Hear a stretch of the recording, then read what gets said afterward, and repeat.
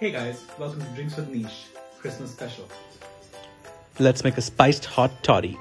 So you start with your spirit. I'm using cognac here. Feel free to use whatever spirit you want. I often make this with Old Monk as well.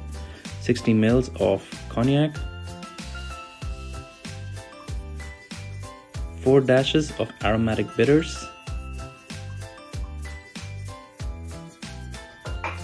Top that up with your hot toddy spiced mix.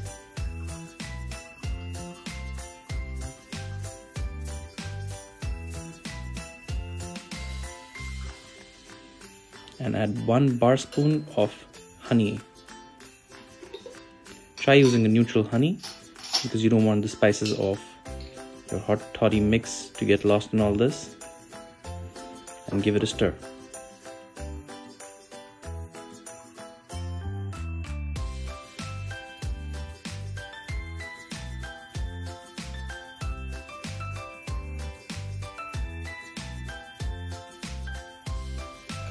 Garnish with dried orange and cinnamon stick.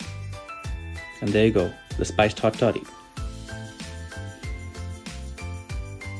Oh yeah that's a winter winner